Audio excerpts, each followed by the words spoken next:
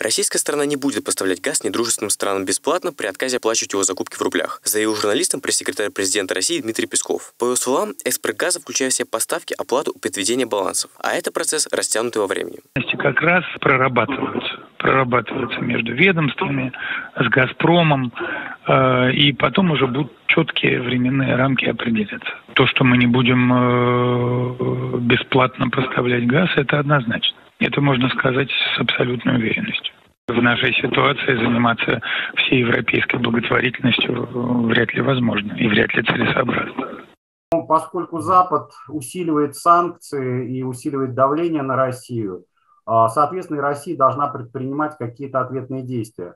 Поэтому аргумент о том, что ранее подписанные договоры Россия обязана соблюдать в любом случае, они в связи с действиями Запада теряют тоже смысл. Дело в том, что на данный период санкции введены уже максимально. Об этом, в частности, говорил президент Байден, который сказал, что Соединенные Штаты усилили максимально давление на Россию с точки зрения экономики.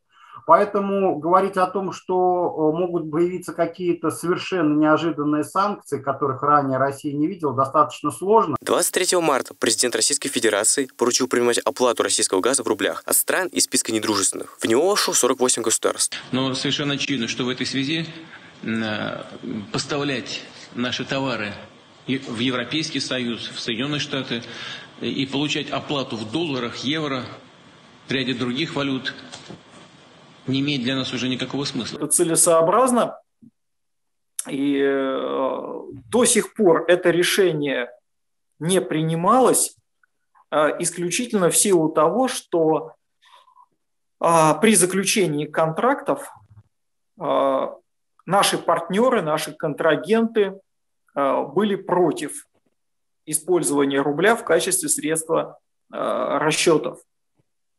Конечно, им удобнее рассчитываться той валютой, которая, которую они сами э, производят, сами печатают, и расплачиваться ею э, со своими поставщиками. Власти нескольких европейских стран высказались против этой инициативы. Глава Еврокомиссии Урсула фон дер Ляйен назвала переход в расчетах за российский газ на рубли попыткой обхода санкций. Министр финансов Германии Кристиан Линднер рекомендовал немецким энергетическим компаниям придерживаться условий контрактов, то есть платить в долларах или евро. Симонов Тимур, Универ Ньюз.